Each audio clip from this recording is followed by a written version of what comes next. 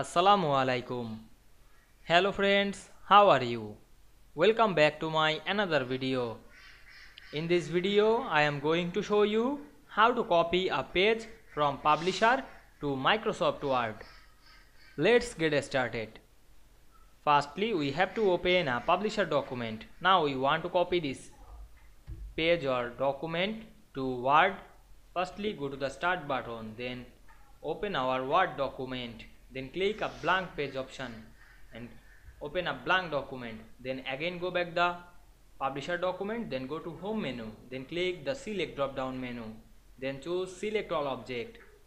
Then click copy option. Then go to the word.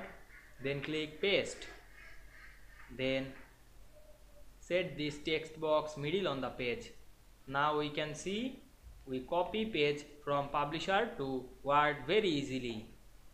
I hope you enjoyed the video. Please like comment share and subscribe my channel.